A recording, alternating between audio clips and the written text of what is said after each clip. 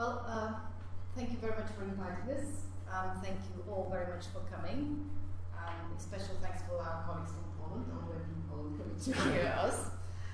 Uh, what you see actually on the screen before I start the formal part is these two houses that you can see are reconstructions of uh, buildings that we made this summer. And you're supposed to see uh, one-story and two-story buildings, so these are our interpretation of what uh, houses may have looked like. Uh, our intention is, uh, unfortunately, to burn these houses down eventually. And the local mayor uh, has promised that uh, he will stay in front of them, lay in, fly, lie in front of them, and not let us do that because he wants to preserve them for, uh, for their local community. Anyway, what we're going to do today is a double act. Uh, I will start. Uh, uh, I will start with introduction to very brief introduction to the phenomena of Cucuteni Tripolian network and to the big problem of the main topic of our talk, which is these very big sites which have been referred now to mega uh, as cities, which we are really trying to uh, unpack that, term, uh, that terminology, whether we, indeed we can talk about urban forms that early in time. And also we will try to illustrate the research challenges that studying of these sites represent. And John later will take over and by, again, very brief uh, overview of our results for the three years of our research to see whether where we went, where we got to in our understanding of these sites, we think that we managed to address a lot of the issues that when we started that project with our um, understanding of these sites, I think we've come a long way and perhaps even went back from what we thought to begin with uh, that these sites may have represent.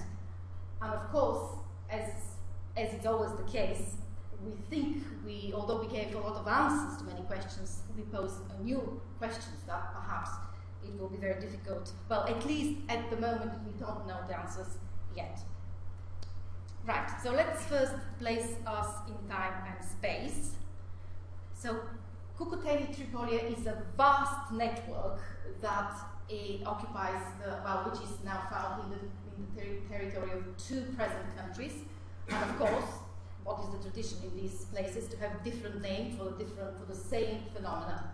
It is called Cucuteni in Romania and Tripilie in Ukraine. What you see on the screen is the Russian pronunciation of that phenomenon, which is Tripolie.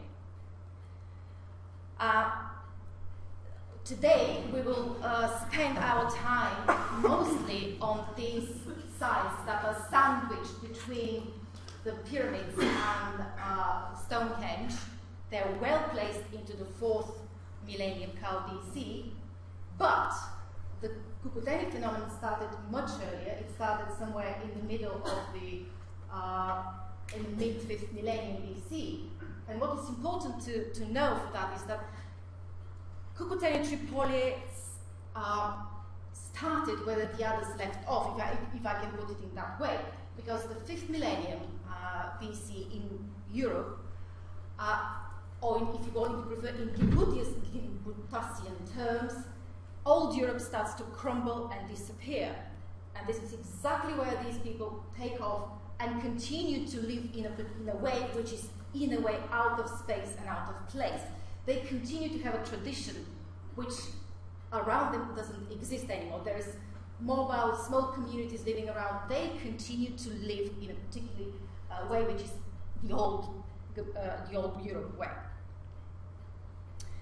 So, again, I said that I have to prevent a very brief introduction to this. It's impossible really to give you uh, uh, uh, uh an exhaustive account of what Cucuteni Tripolia looks like, but there are two or three components that you, you have to know about this, this phenomenon, and that's that most of um, what we know about this network comes from settlement contexts.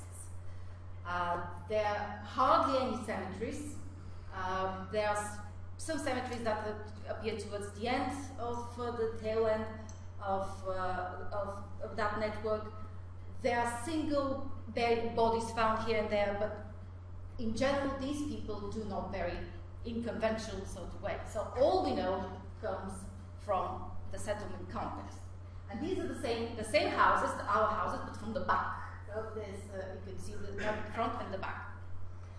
Uh, uh, the, uh, you can, if you read the literature, you'll see that there is these very bold reconstructions here of a really massive, really massive structures, which I would like to take with a pinch of salt. Uh, they are, uh, they're based, these reconstructions are based on these house models that you can see, and as you can see that they are on what I would call stilts. But in the view of the Ukrainians and most of the, the, the Romanians, they reconstruct them as a two-story, full-blown two-story buildings uh, of, of that really mega style. Uh, and what the, they did with their sites is eh, the, the end of each settlement was believed to uh, come uh, with a massive fire in which all of the buildings were burned at the same time. This is what is believed and has been argued for a long time with a lot of ink and blood spilled over it, whether this is indeed the case. And for the moment, this is the predominant and very difficult to argue against uh, hypothesis in both Romanian and uh, Ukrainian archaeology.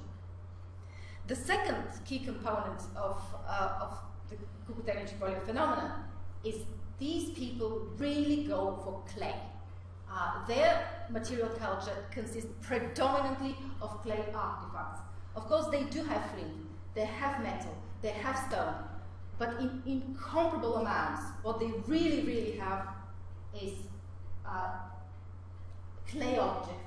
There is more than 30,000 zoomorphic uh, and anthropomorphic figurines known by now. And what they're really very famous is, is this wonderful pottery of which I just put only one example, uh, uh, which if you can look closely, you will see that there is three-way symmetry of that, which is believed to be achieved only by Escher many, many, many years after. So it's really a very highly specialized production, which is one of the arguments that has been used in the literature that we can probably talk about um, craft specialization and therefore for the development or the presence of complex societies because it is believed that you cannot just be a potter that will go out of, the, of your house and make these beautiful pots. So, beautiful that they are, and those of you who know me and John that we have a long-term interest in material culture, this is not why we actually took this project. Uh, whether you, uh, I really don't know the audience about your interest, but I'm sure that in some way in your lives, perhaps you have heard of some of these uh, uh agglomerations, which increasingly uh, are difficult to explain in the terms and the knowledge that we have. So, how did we come to it is because we were very inspired by Roland Fletcher, who came to Durham uh, as a fellow visitor and said, Well, why don't you do something about these big sites? Because he, they, they have been known that there are these big sites in Tripilia, but because of the Iron Curtain and because of the language barrier, it was very difficult to do anything there. So that's how we, we came into the scene, and you will, there is very, uh, there is a certain amount of literature about these particular sites. There is no agreement how we're going to call them, and you will see big problematic sites, uh, big weird sites, big anomalous sites, proto-city cities, you name it, it's all in the literature. So what we're trying to see is, let's see what actually they look like. And how big is big? So in order to get closer to home, and since tonight there is the, there will be the, on the TV the Great Fire of London. So this is a map of uh, London before the fire, and this is one of our sites. Um, John assures me that he made it to scale, so I, I trust him that he makes it scale. So if you want to, again, here we are. There we go. So that's what one of these sites looks like. So uh, they're really, really vast. So, and the Ukrainians, for very, they, they, have been known for a very long time. They've been known since the 19th century, and they really haven't paid particular attention to them. Uh, only Petrov in 47 uh, tried to uh, make fuss about, to make a point that perhaps there is, we are dealing with something else. But since his work is never published, well published in 1992, it wasn't really uh, at all influential at the time. This is my favorite uh, quote, which is, of course, in a very Russian style and a very uh, Soviet way. It's a intertribal, inter, inter, intertribal census based on fraternal uh, basis. But the vast majority of the Ukrainian and Russian literature really deals with uh, how many people were living there, how many would they have been using. They were really mainly studies of demography, demography and what the implications might be. But when I say the implications, not the rigorous implications of which are sort of um, uh, accompanied by good interdisciplinary, interdisciplinary studies, but more like in the sorts of claims. And these are uh, roughly done in, in, the 70s and the 80s uh, in the former Soviet Union. Well, this now proves to be uh, one of the things that John perhaps will dwell on it later, uh, that has now played into something what we call a maximalist view, because these estimates now come to haunt us, because people take this as at, at face value, and things may get out of proportion, as you can probably see later. So um, where we come in is that there has been a very weak voice in uh, um, Ukrainian um, archaeology that is trying to make the case that perhaps we can actually speak from very early form of urban sites in fourth millennium uh, Europe. And uh, the urban, the, there is a little bit, we have to understand that Ukrainian archaeology is still very much trapped in the cultural historical approach. So therefore, the, the chiefdom and the complex chiefdom goes hand in hand for them for uh, proto-urban. There is no such developed um, tradition of discussion of what actually is a chiefdom and what actually is a city.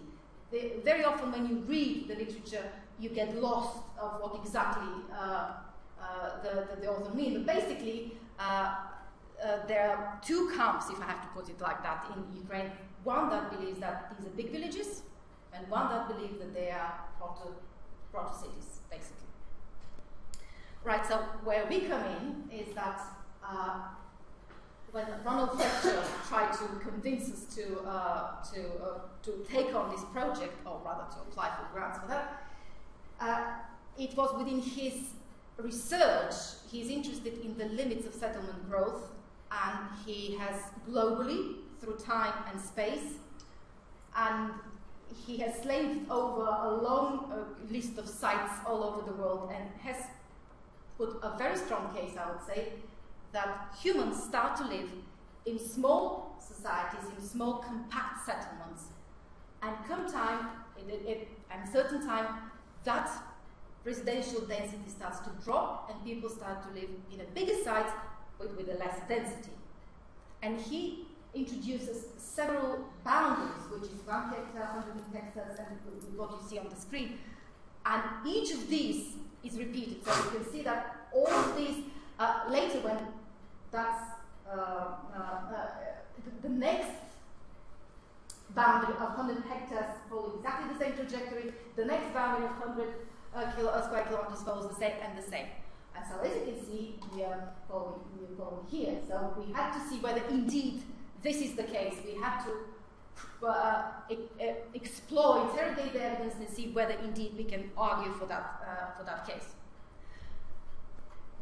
Before uh, Roland Fletcher, however, there is the, is the work of um, Linda Ellis, and this is a rather outdated map, which argues for hierarchy of sites. And as you can see, the small dots are obviously the, the little sites, the slightly bigger dots are the bigger sites, and the, the, the biggest of all, like that one where that's our site where we are excavating uh, for the last three years, are on the top of hierarchy. Now, uh, I decided to leave that map for, for two reasons. And the first reason is that because indeed even the topic of today is these big sites and what are they really like, how they operate, do they, are they possible? But we should not forget that there is a millions and other, other small sites. They are there. They are, the small sites seem to be forgotten when you discuss this uh, phenomenon of big sites. And the other uh, uh, thing that I have to say about this map when I said it's outdated, that now we know that these big sites do not appear only in that area of Ukraine, which was believed to be the case. these big sites appear only between Dniester and Southern Bug. Now we know that they are also found in the, the whole of, uh, of present Ukraine. Funnily enough, not in Romania. In Romania, they don't have this. They only uh, remain in, in, um, in Ukraine. Right. So the first sites that appear like appear the, with anomalously big uh, from the very beginning of the uh, period. They in the these are all faces that you see as ceramic faces. That's how the chronology works at the moment. So uh, A, B, and C are based on development of pottery. Uh, of pottery. Uh, and in each uh, of next stage and next phase of this uh, of, of, of that phenomenon, a bigger and bigger size start to appear. But what I would really like to point out in this in, in this slide is that something which is a hallmark of these settlements, and this is the concentricity of their planning. Uh, that implies uh, uh, forward planning, something which you, they didn't just augment the existing style. The, the site was small, and therefore they added more houses and add more houses. No, it doesn't seem to be the case. From the very beginning, whenever they were uh, deciding to settle, they were they was they were knew what they're going to do, and they were following that pattern of concentric, whether that will be slightly in the shape of a uh, of a dartboard like the penny, or it's following more the, uh, uh, the topography of site here in Bugilna, this principle of concentricity remains throughout. Now, uh, how many are these big sites? Well, what we're, we're, we're talking about? Well, at the moment we have 139 of them, which in, com in comparison to all of the other smaller sites, the sites which are smaller than 10 hectares, is between, depending who you read and depending who you believe, between 2 or 4% of the whole of the uh, um, sites in Ukraine.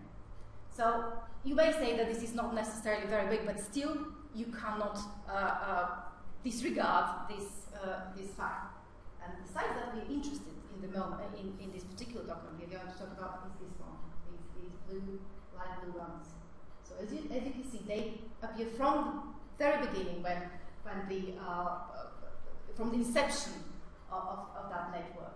And apart from here, that, that phase, they see, and obviously the demise when the, the, the, here's the, the tail end of, of, of, the, of that network, they seem to be very persistent. So this is not something that appeared and disappeared. No. They were really going for these big sites throughout. And the other interesting thing you can see that the relatively small sites, if you can consider that 30 hectare site is a small site, so this from 10 to 30 hectares is rather, uh, the, the, number of these sites increasing uh, through, through time. And just for reference, uh, I was recently told by Mike Parker Pearson that Durrington Wall is 17 hectares. So you can see whether where we fit in, in these uh, in this graph. And before I hand out to, to John, uh, you, what I would like to point out is that uh, we, it's not that uh, the, the, the trajectories of these sites appear to be consistent. They're not just, oh, it's the same, but it's got bigger. No. Uh, they're uh, if, if, if, if if a particular plan was in mind, they were trying to achieve it, the, the, the residential density, if the, they were following, they were after a small residential density, which is this one. They kept it from the very beginning to the very end, there was this trajectory. Certain sites were protesting or wanted, or they were really going to keep the, uh, the low residential density, which is that particular one here. Other sites, however, became bigger but highly packed. And this highly packed or, uh, uh, which is here, is more what you would expect from a normal, quote unquote, urban development, which is denser, what, what will Childe will call a uh, uh, uh, city, and these are the ones that, that you would expect. However, even these are much, much smaller in residential density than what a normal uh, Roman city will look like. So, John?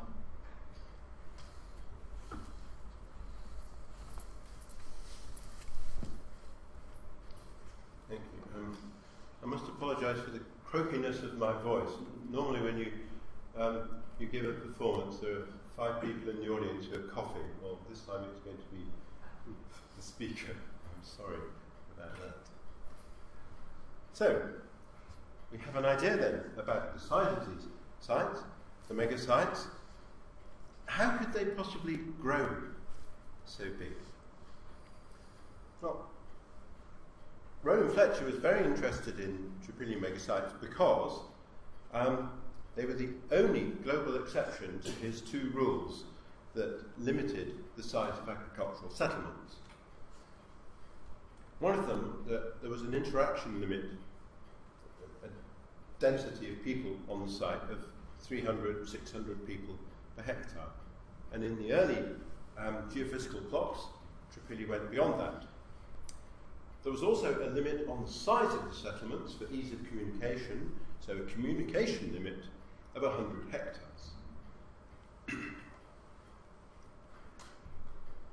and we were very interested to see if that continued to be the case with new geophysical work, um, and we found that the, there were ways around these two limits.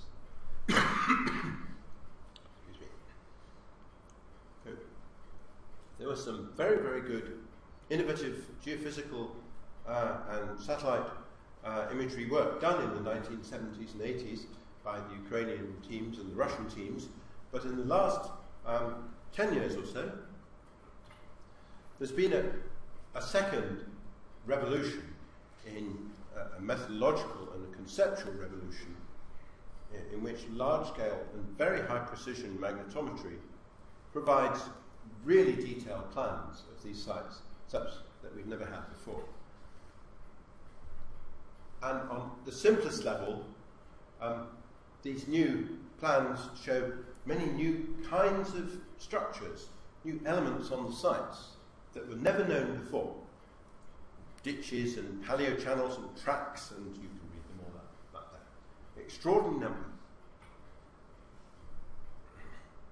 And if you start to look at these and put these into um, uh, a set of spatial relationships, then the new elements and their combinations reveal a far greater degree of internal ordering than was ever detectable on the old plans. So that's really the platform um, for uh, another kind of understanding. but the health warning for everyone here is this talk is entirely superficial until we can work out a chronological sequence for the megasite to show that there were maybe 50 houses occupied simultaneously, or 500, or 1500. Until we do that, um, we really have not solved the megasite problem, and we're, of course, working. now, the first complete um, megasite plan done with um, modern geophysics was from this site of Nebelivka, which I think you can see, and uh, we've got a number of different colours here. the red and uh, un, uh, uh, burnt houses, saw earlier, um, the Durham purple are unburnt houses, and the green is probably unburnt houses, but certainly weaker geophysical signal. And, and you can see there's a lot of regularity about that tan. Now, one of the things that we found was that there is a perimeter ditch defining that's two points of it, but it goes much of the perimeter uh, of the, the megasite. What does it mean to have this in terms of planning? Do you dig a ditch at the beginning? Do you dig it at the end? Do you dig it in the middle? There are arguments either way. Very hard to date. The other really amazing thing that came out of the new geophysics was the series of structures that are much larger than houses, which we call assembly houses, uh, and they're regularly spaced around the uh, concentric rings. So if you want to look at, take one of these, what we call a circuit then, each of these is a house, and there are two main circuits and a perimeter ditch. and round uh, the circuits we found 23 assembly houses, six on their own, five in pairs, two trios, and one um, quarter with no assembly house at all. So lots of variability there. Almost all of them are rectangular. Some of them are quite small, only just bigger than a normal house. But one of them, as you'll see, is absolutely enormous. That's uh, length versus width.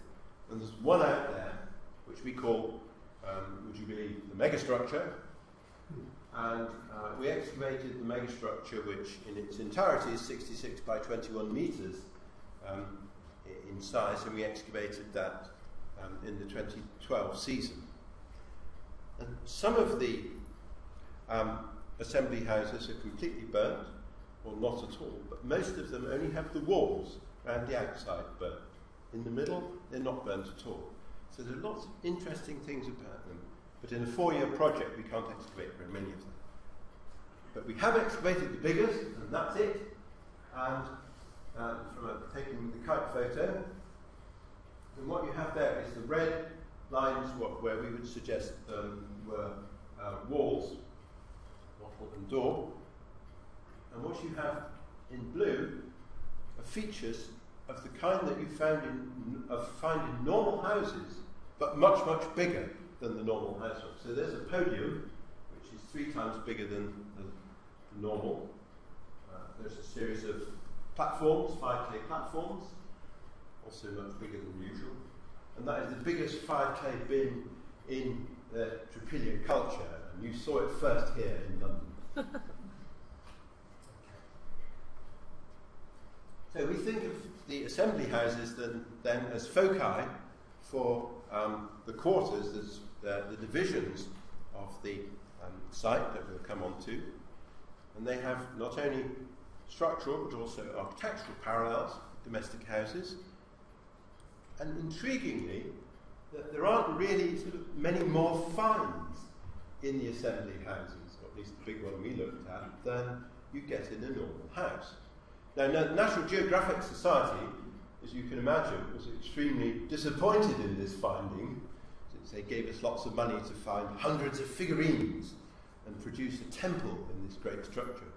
But there were fewer figurines than in a normal house. So that's a bit sad for the National Geographic. a bit like Silbury Hill, really. Okay. There was, however, one single exception which was a family of 25 baby pots, perhaps a gift from 25 houses, which had been put on a shelf, and when the building was destroyed, they fell down uh, and we found them all, all, all complete. And there, there, there's a ruler there. They're about um, Society of Antiquaries teacup size. They might well have been individual consumption. But the extraordinary thing about them, just one detail, um, for aficionados of East European prehistory is that on some of them you find graphite painted ware, which is unique so far in the uh, Tripolia group. Um, the nearest that you find graphite painted ware is in southeast Romania. There's something going on there that's really, really interesting. So, if, as we believe, the assembly houses were public buildings, meeting places with distinctive ritual functions, the householders clearly took their figurines away with them back to their own homes.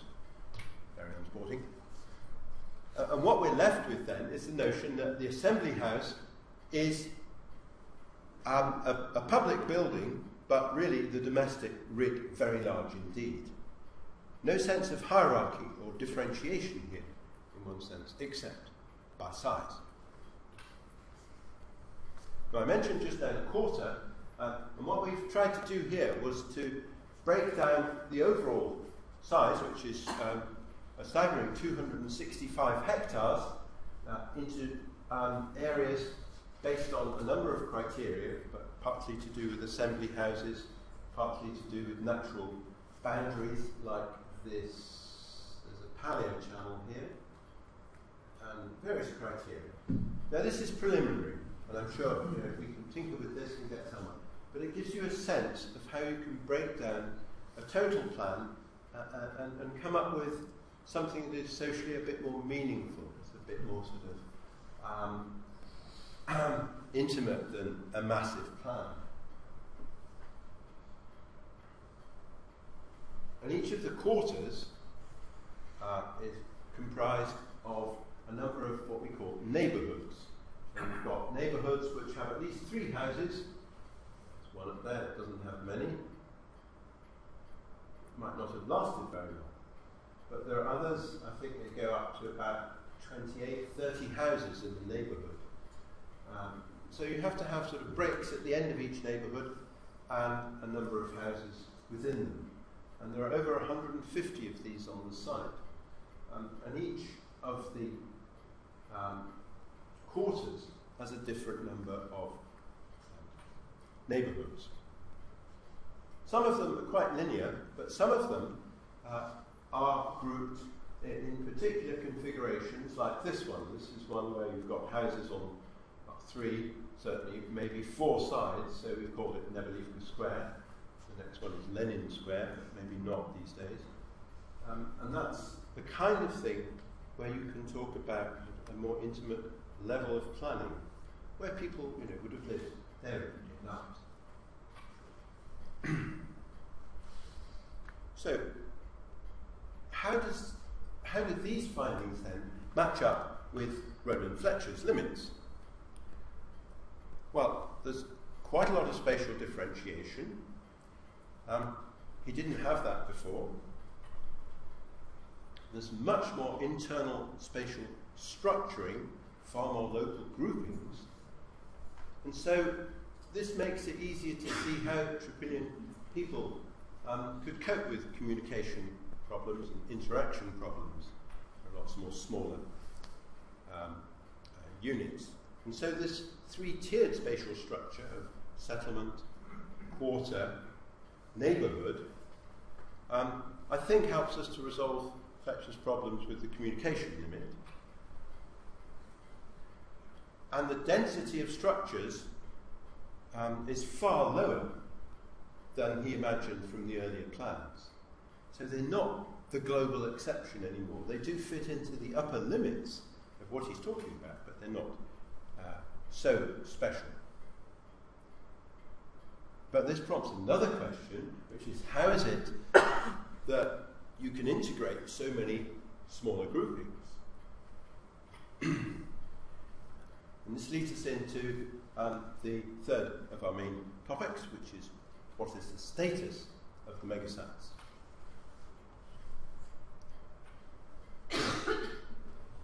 It takes us to this notion that Roland Fletcher has developed of the low density and the high density urbanism.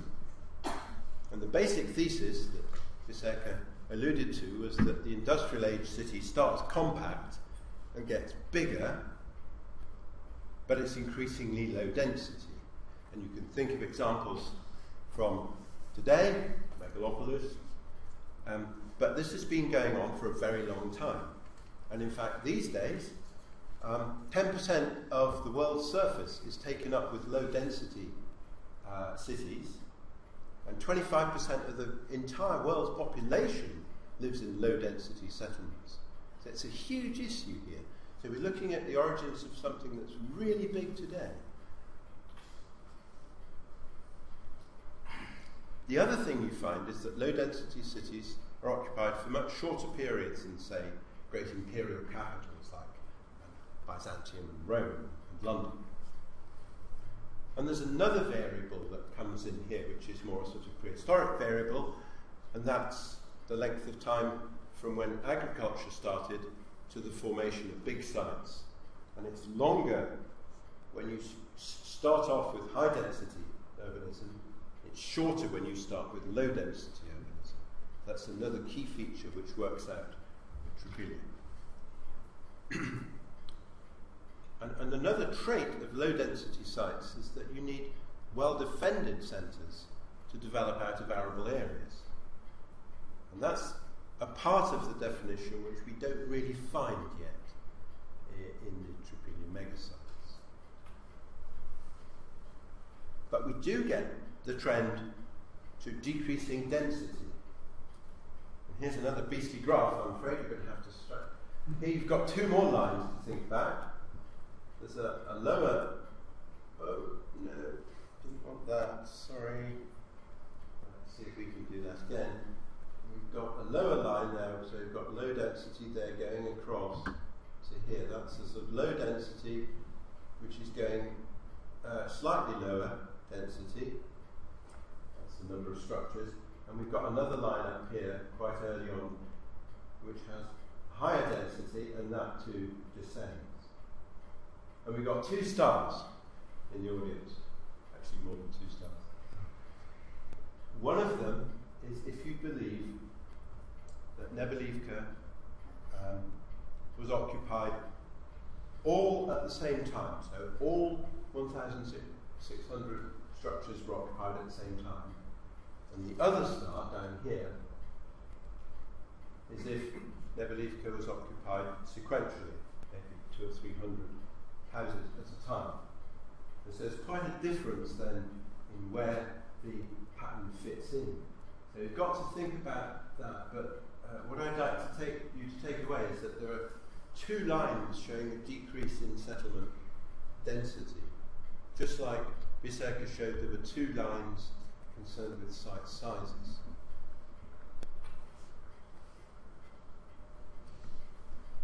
Now the two stars locate two different positions that the various research teams have been working on. And there's a Ukrainian German team who takes the maximalist view that Bisserka talked about. Um, a very fast expanding Lebensraum with lots of um, people. And so three weeks ago, in an e-journal from the University of Kiel, the German Kiel, um, estimates for the population of Majdanetskoy, another 250 hectare site, same size, plus or minus, as Nebelivka, came out at the lowest at 12,000 people and at the greatest at 46,000 people. That's a lot of Lebensraum.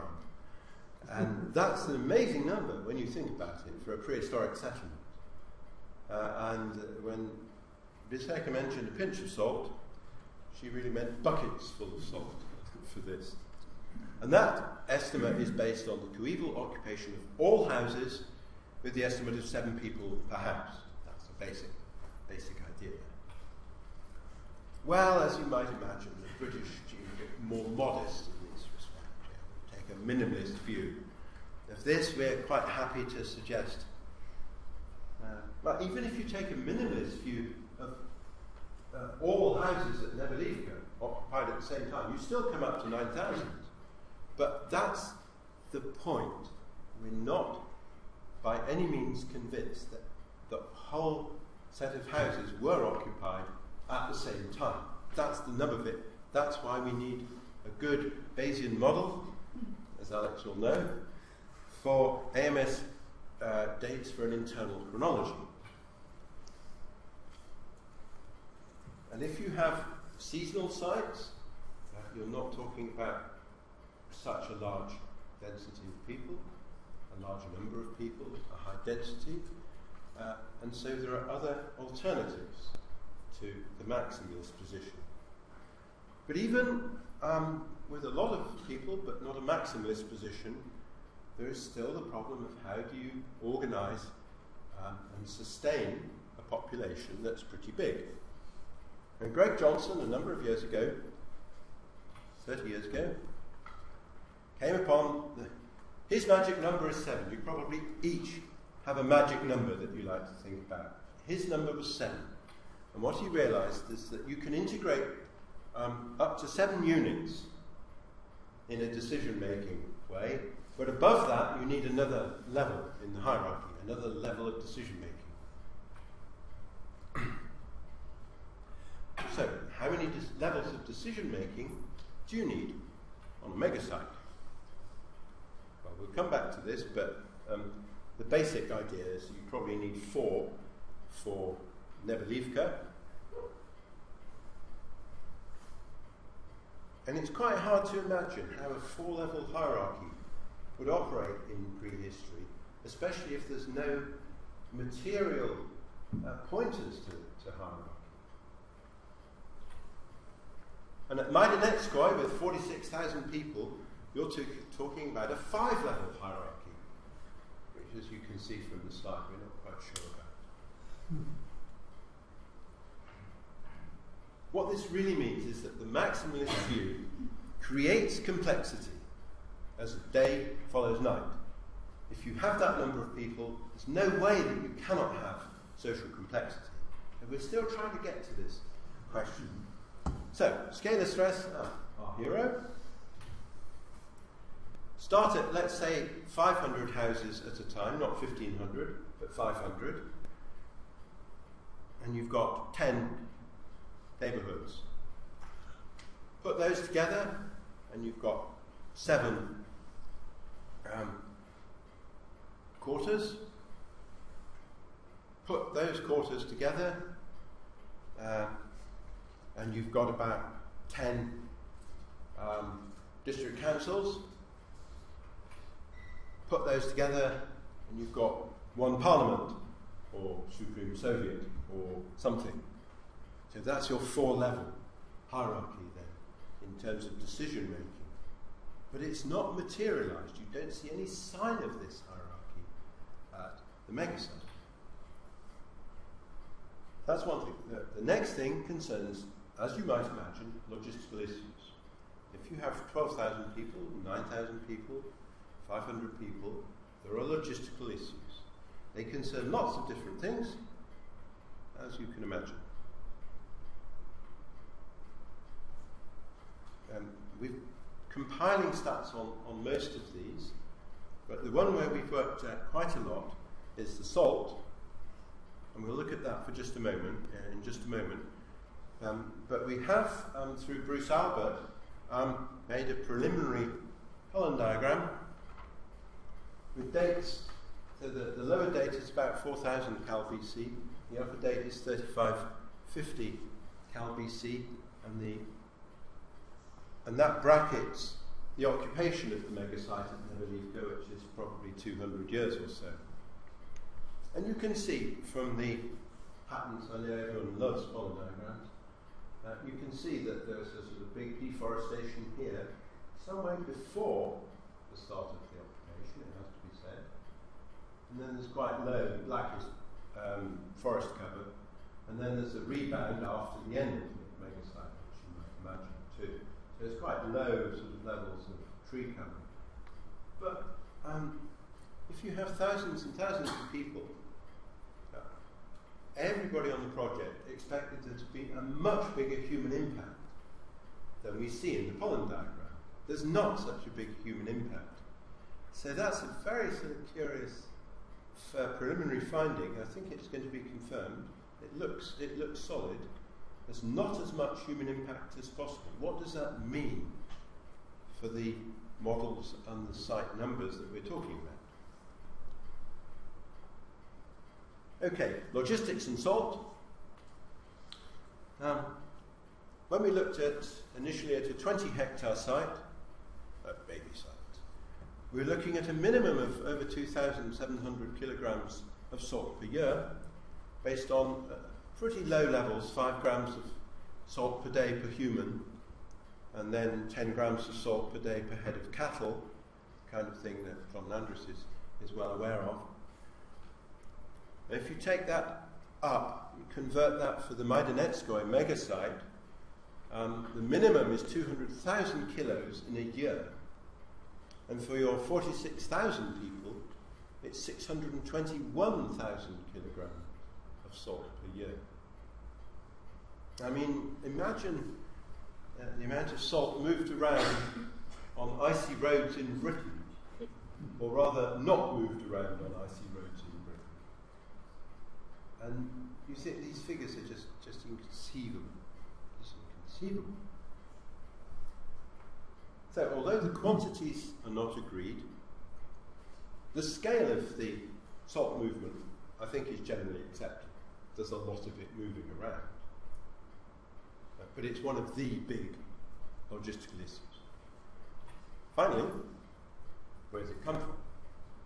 And that's still very much in dispute, and we have this sort of classic situation that's the terrain that area is where the, the mega sites are around here, that's Nebelivka, and the other sites nearby. And there are two areas where the salt could have come from. It's not certainly not local. One is from the East Carpathians, and the other is from the Black Sea, which is not a very salty sea. Now, if, it, if the salt comes from the Black Sea, um, the problem there is that we don't have any dated Neolithic salt exploitation sites, but it's much closer, and you can take it up, up the valleys. Over in the East Carpathians, there are dated salt exploitation sites dating to Cucuteni, to but it's much further away. It's, an, it's across the grain of the countryside. So that's a problem at the moment. The evidence doesn't really fit the Black Sea um, Limans very well, but one would imagine that that's where the salt came from. But in any case, it's a massive amount of salt. This is not just gift exchange, this is trade. The last point about logistics is you would expect with a city to have logistical backup in the form of smaller sites in your hinterland or your your city territory, and we just do not have at the moment any contemporary sites closer than 15 kilometres. So in other words, at the moment, it's very puzzling, but it seems as if there isn't much of a hinterland to the megasites. And we're very worried about this, and this is another issue. And we have really been sending the students out in all weathers look for sites, do field walking. We've um, supervised them from a distance from cars. We've sent them out, but we've found very, very few sites. That's another big question for us. For you. The alternative then, and at this point, if Ukrainian archaeologists were in the country, they'd either shoot me and then themselves, or just me, as you said there is a less permanent type of occupation. We might be talking about seasonal gatherings. We might be talking about pilgrimage sites. After all, the sort of very short term summer sites in America that last a month or more, not much more, can produce a megasite plan just like Nebelivka. That's only occupied for five weeks. Um, unfortunately, most of the blobs are not houses but cars. Don't worry. That's the kind of planning you can get for short term sites. So, um, but there is no precedent for this in East European Neolithic and Copper Age uh, archaeology. Uh, uh, and in some ways, it raises as many problems uh, as, as it solves. But I think we have to look at it so the conclusion then, the preliminary conclusion about the status of megasites is if you think they're more likely to be seasonal, not so permanently occupied, then the less likely they are to be urban. Even low de- they would be low density sites, but they wouldn't be low density urban sites. But if you think that these big sites are occupied more or less permanently, and quite a lot of the site is occupied at the same time, then you would tend towards the low density urban designation. And that's where we are at the moment, which is um, I can't see a fence on which to sit, but I think we're sitting on it at the moment. With the maximalist view, no problem. Okay, where are we then? Well, we have the first complete megasite plan based on modern geophysics. We've discovered ways of avoiding interaction limits and communication limits. We found lots of neighbourhood groups, but we're still working on how to integrate them. We're not very sure about four level hierarchies. Uh, what is coming out in the, the recent publications of the Ukrainian German team and our team is that there are these maximalist and minimalist positions. They're coming out and they're becoming increasingly well defined and separate. And we have to work on that and see what's going on. And we have spoken and perhaps made possible the suggestion that megasites may have been seasonal and they may have been sequential. And whether you're a maximalist or a minimalist, you will decide whether these are low density urban sites or low density non urban sites. And that, ladies and gentlemen and fellows, is as far as we can go just at the moment. Thank you very much.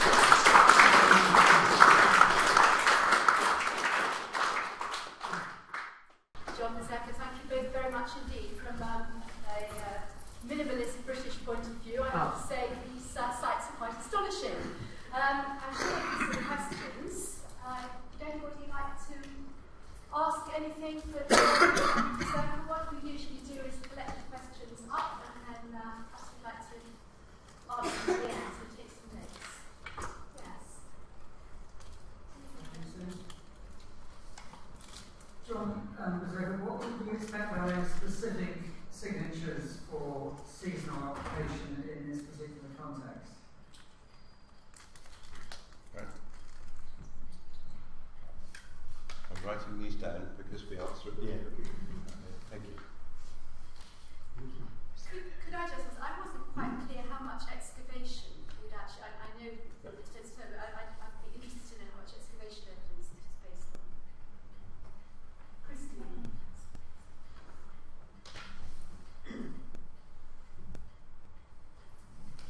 Um, yes, I thought that was a really interesting lecture, and I was particularly interested in the landscape context of these sites.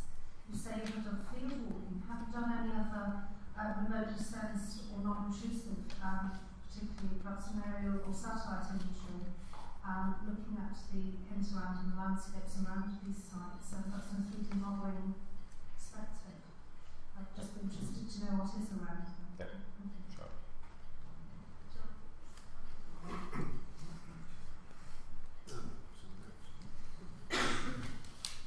You show your site map with a two large concentric circles, but it seems nothing in the centre. Is that a real absence or simply lack of precise survey? If it is a real absence, why do you think it is there? Could I just ask them before then, if it is a real absence, then it struck me that you don't have a circular segment, you have a linear one with the ends joined together. I just wondered if you're not. I just wondered. I can't do this. I just wondered if you weren't digging a large necropolis rather than a settlement site. I mean, if you deduct what you've not got, I know you haven't got bodies yet, but you don't seem to have a great deal of domestic uh, refuse. You don't seem to be producing pits, either for refuse or storage, or any of those other appurtenances which seem to be general in all who have any kind of domestic buildings. Good, got that.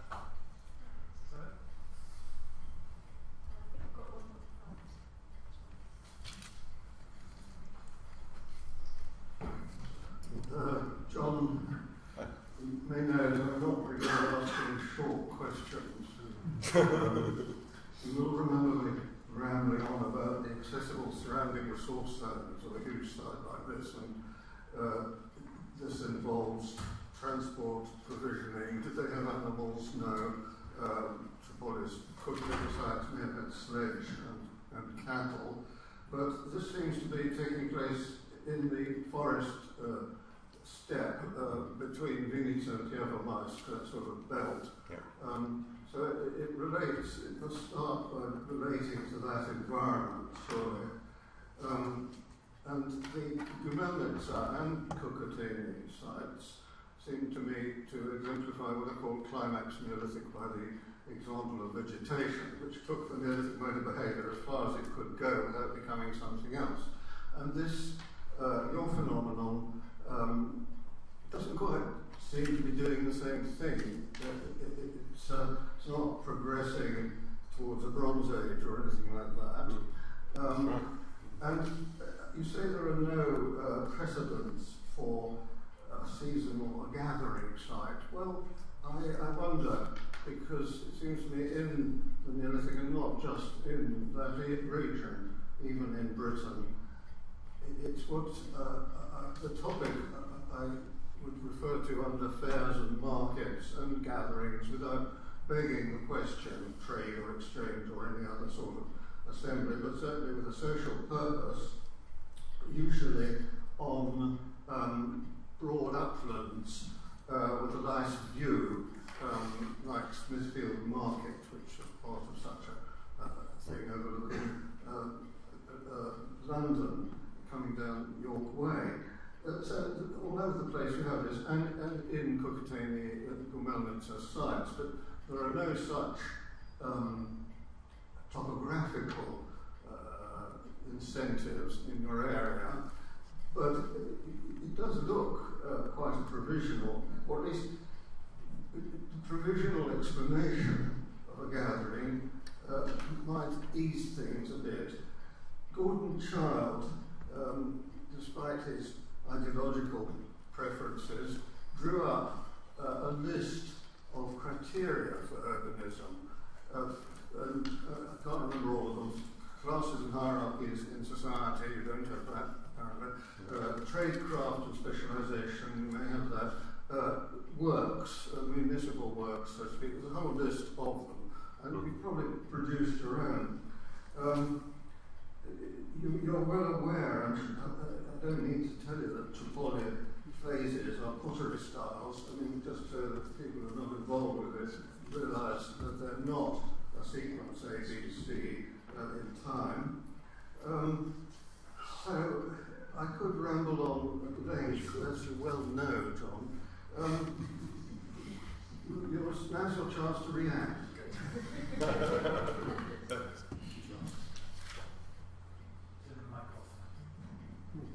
Okay. Julie, You start whichever. Give me whatever you don't feel comfortable with. All right. Well, let me just. Okay.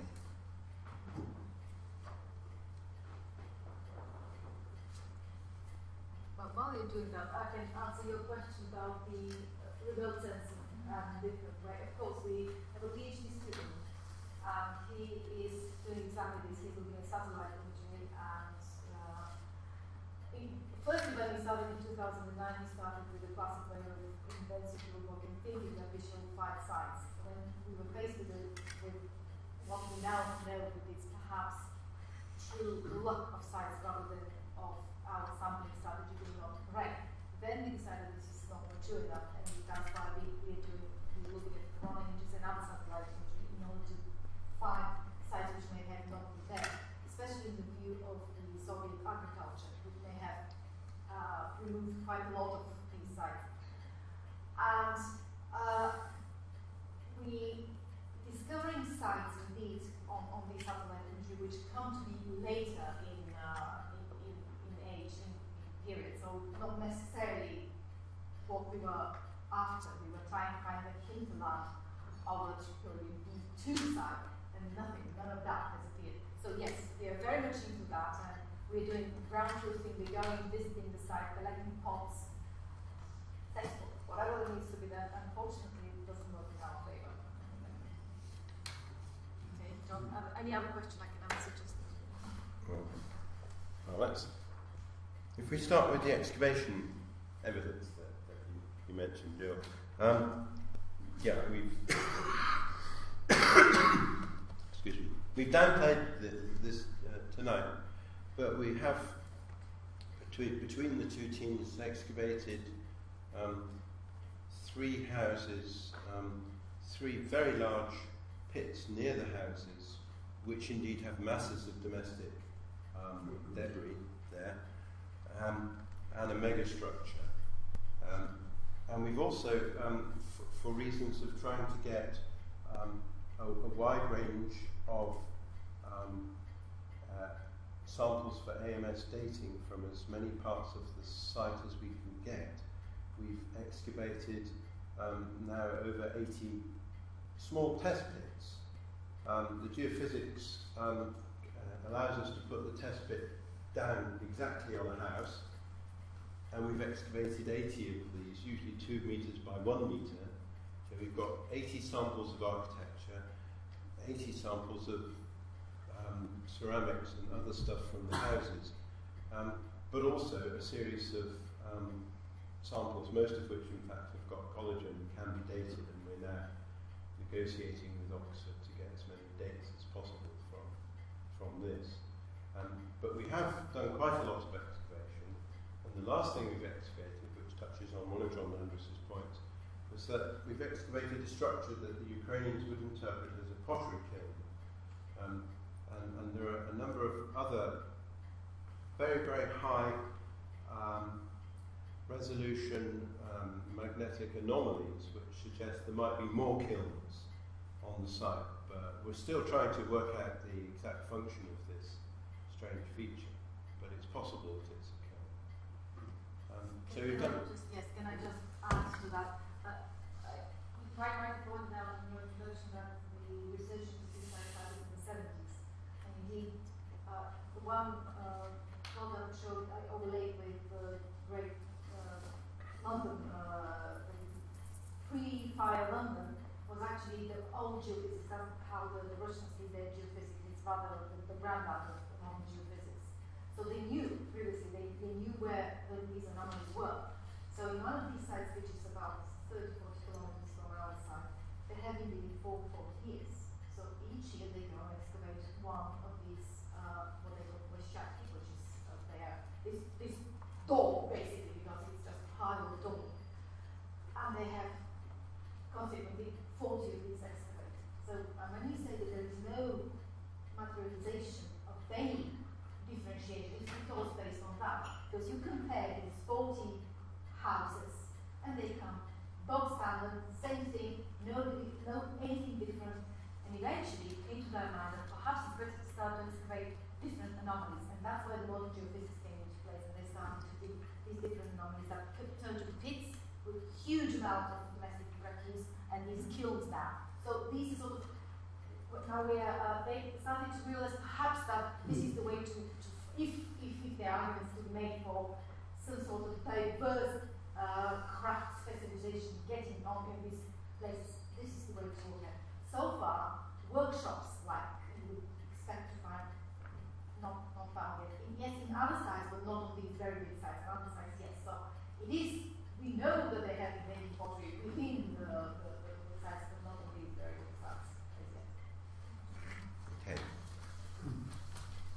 onto the, the, the gap in the middle, which we've looked at in many ways, and in every case, it turns out to be a real gap.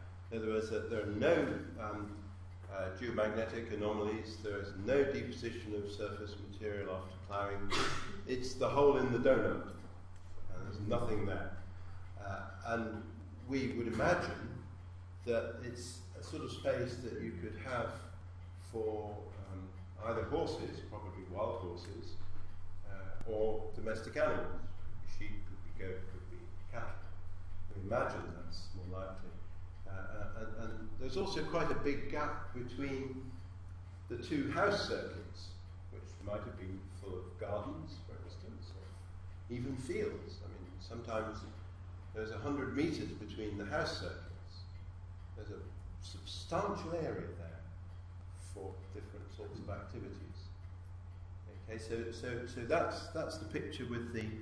Um, now, whether it's a linear, joined up, or circular, uh, I think what your question is really hinting at is that um, there's, a, there's a, an overall principle of planning here, a concentric circuit principle, but it's implemented in different ways.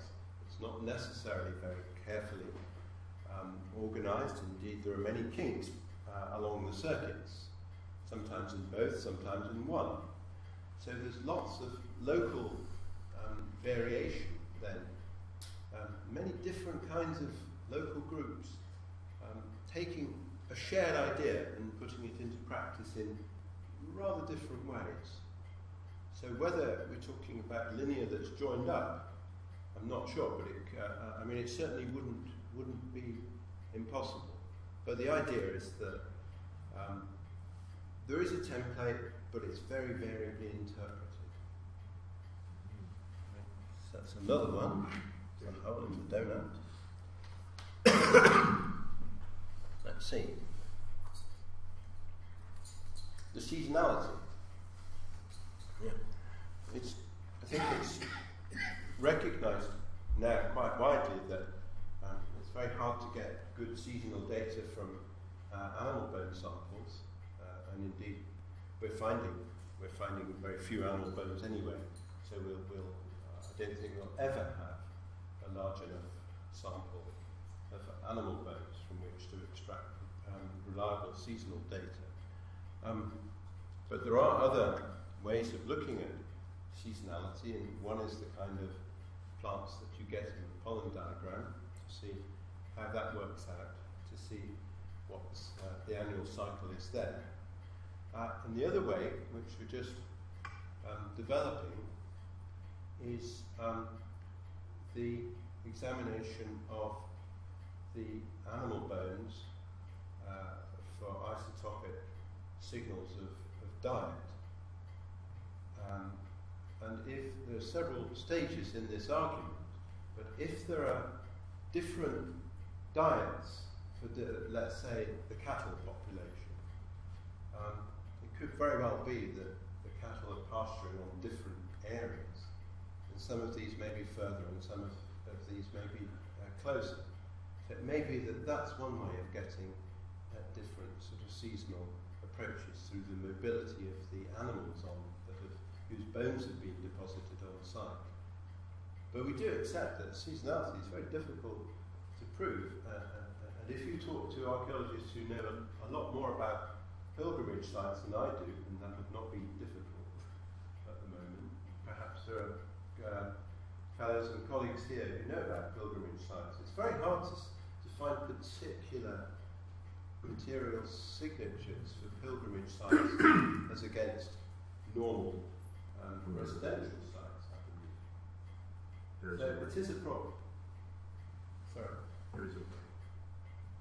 Pilgrimage usually takes in spring, as Chaucer taught us, and if you look at the animal bone, you'll see nearly uh, oh. forming a, a proportion of the body.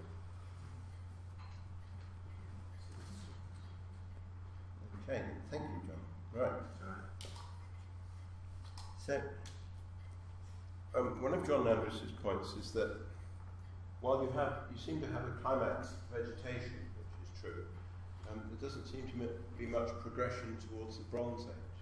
And that is absolutely right. I mean, it, it, it's um, we're, we're, beginning to see Trypillia as one of those sort of prehistoric dinosaurs in which almost everybody else around them has moved on and done other things. They've they've started to get interested in accumulation. They've built up smaller, more flexible sites with different attitudes to place and new attitudes to uh, kinship and lineage, and definitely um, much greater investment in metal, coppers and golds and silvers. Um, at the moment, Trypillia just is not interested in those things. They're interested in clay. And they don't seem to be interested a great deal in, in metals. There are very few compared to uh, other groups, especially in the fifth millennium. So it, you're absolutely right, John. They're not moving towards the Bronze Age. They're saying, we don't want to be in the Bronze Age. We, we like it where we are. We're just fine being Neolithic. Nothing wrong with being Neolithic. And it, uh, an attitude I tell my students, yeah, absolutely. but so there is that question of what are they stuck in a Gimbutasian groove? You know, they keep on going, being Neolithic for a thousand years after everybody else has given up moved on to exciting new, new nightclubs and other places. It's a very interesting pattern. They, they, they, they seem to be dinosaurs, a bit like Stonehenge, where everybody else in early Bronze Age Europe, or Northwest Europe, moved on to sort of small sites and they've forgotten about massive monuments, and yet Stonehenge, uh, a bit of a dinosaur, not quite the same as the other sites. We think tri- of Trypillia in this way too. I'm sorry, I'm just provoking you here, but you know what I mean? I think there's that side of it. Do you want to talk about Gordon and criteria? Uh, I think I'm weary of time. Probably we. Well, I think I'd like to yeah, draw it to a close minutes. Oh, May- okay. Maybe uh, lengthy discussions about Gorbachev save the sherry. Just what he would have wanted.